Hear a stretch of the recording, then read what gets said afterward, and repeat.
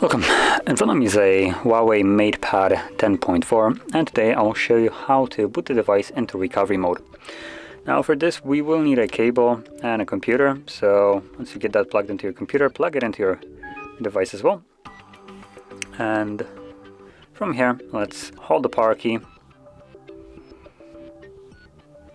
select power off, and once the device turns off, you want to hold power key and volume up both of the keys at the same time. Now I'm going to be covering my hand right here, just placing it on the screen, uh, just so the camera keeps focusing on the device and not the reflection in the device, so yeah. Anyway, hold power key and volume down together at the same time.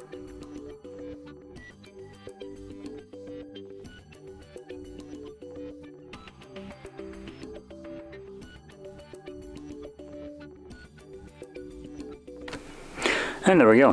So we are now in the recovery mode. Now in this mode, you can simply tap on the whatever you want to perform. So as you can see, you can clear data, uh, update or put the device into safe mode.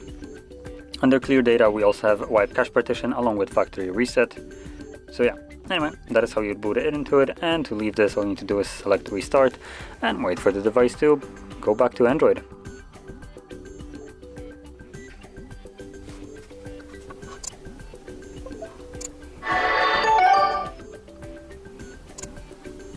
And as you can see, we're now back in Android. So, if you found this video helpful, don't forget to hit like, subscribe, and thanks for watching.